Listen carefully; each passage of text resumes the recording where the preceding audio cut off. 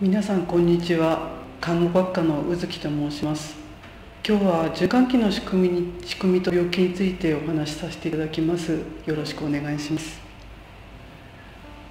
まず看護学科で、えー、勉強する内容ですけども1年生から4年にかけて、えー、こちらのスライドで示されるような盛りだくさんの内容を勉強していきます。それで、えー、順を追っていきますと1年生2年生では、えー、看護学を学ぶ前のですね基礎的な前提となる学問ということでこちらに示すような、えー、基礎科目ですね。それから専門基礎科目を学びます。その後に実際の看護学の勉強に入っていくんですけどもこちらのようなですね老年看護母性看護成人看護それぞれの看護学の分野に従って勉強していきます。同時に実習も行います。最後4年生になると、まあ、それらのまとめということで統合科目を勉強していきます。で、えー、今日お話しする内容なんですけども、えー、先ほど言いました基礎科目それから専門基礎科目専門科目統合科目これらの中の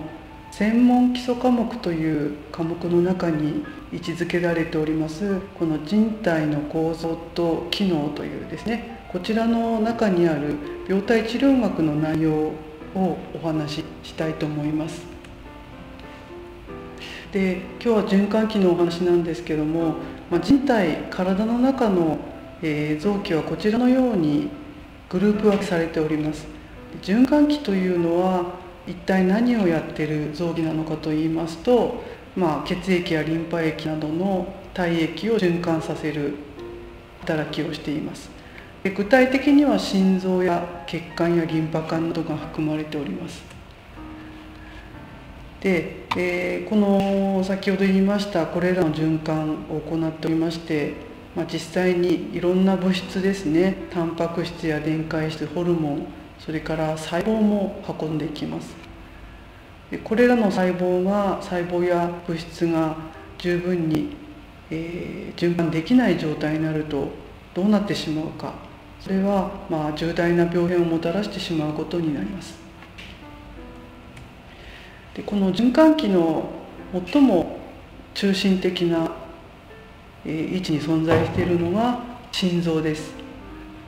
この図にありますようにまあ、あの胸のですねやや左寄りの部分にあります。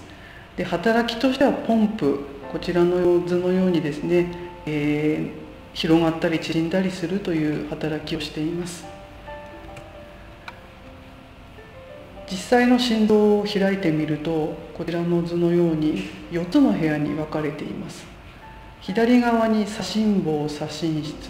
それから右側に右心房心室という部屋がありましてそれぞれの部屋の間には血液が混じらないように壁があったり便があったりして、えー、ちゃんと4つに分けられています。でそれぞれの4つの部屋に血管がつながっていまして血管を通じて血液が全身との間でやり取りされるというふうになります。こちらがですね全身を巡っている血管の図です。えー、全部つなげると10万キロにもなってしまうということで体の中に一人の人間の体の中にそれだけの長い血管がつながっているということですね。えー、種類としては動脈と静脈があります。まあ、ご覧の通り動脈の方が壁が厚くて丈夫にできているんですけどもあの動脈硬化とか高血圧っていう時に問題になってくるのがこの動脈の部分になります。動脈の中の血液の圧力を測るそれが血圧なんですけども血圧計はですねこちらにあるようなさまざまな種類のものがありまして上にあるこの2種類のものは、えー、看護師や医師が直接測ってくれるタイプのものです。そして、えー、他の3つに関しては自分で測るタイプのものですね。で血圧を測ると2つの数字が出てくると思います。高い数字低い数字。で高い方の数字っていうのは心臓が縮まる時に縮まる時に血圧を押し出す押し出して血管にかかる圧力ということで収縮気血圧というふうに呼んでます。高い方の数値こちらですね。で低い方の数値っていうのは、えー、心臓が広がって血液を溜めてる時の、えー、圧力になります。なので広がってる時なので拡張気血圧と言います。でこの2つの数字を、えー、データとして血圧を測ると出てくるんですけどもこちらの表にありますようにあの収縮気血圧が140それか拡張気血圧が90このどちらかを超えてしまってこの赤枠の中に入ってしまった場合その場合のことを高血圧というふうに呼びます。なので赤枠じゃなくてこの水色の枠に入ってれば血圧は正常というふうに言えるんですね。で血圧が高いとどんな不具合が出てくるのかといいますとこちらの図にあるように、まあ、あの高血圧が続くと動脈硬化という状態が進んでいきます。で動脈硬化は全身の血管に起こるんですけども特に困る部分としてはですね心臓を養ってくれてる血管に動脈硬化が起こってしまって、まあ、それがさらに進むと心筋梗塞になります。それから脳を養ってる血管ちらですね。脳を養う血管に同じように動脈硬化が起こって血管が詰まってしまうと脳梗塞という状態になります。えー、この特にこの心臓と脳に関して動脈硬化が進むとえ場合によっては命に関わるようなことになってしまいます、え実際の動脈硬化になった方の動脈の写真をお見せいたします。左側が正常の方の大動脈。大動脈っていうのは心臓から直接出てる一番太い動脈です。で右側が動脈硬化がひどくなった方の大動脈です。比べてみると動脈硬化の方の大動脈はデコボコしてます。でこぼこ出てて黄色みがかってるような状態です、えー、そんな状態がですね、えー、あのー、そんな状態が心臓を養ってくれる冠動脈に起こってしまうとこちらのように動脈がどんどんと硬くなって厚くなっていきます。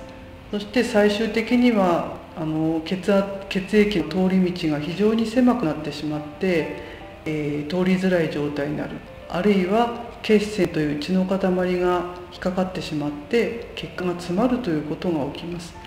で心臓の血管でこれが起こってしまうと心筋梗塞になるんですね。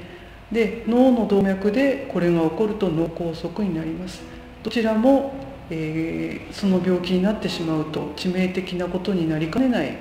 わけですね。それから、えー、同じように血圧が高くなって、えー、動脈が硬い状態になっていると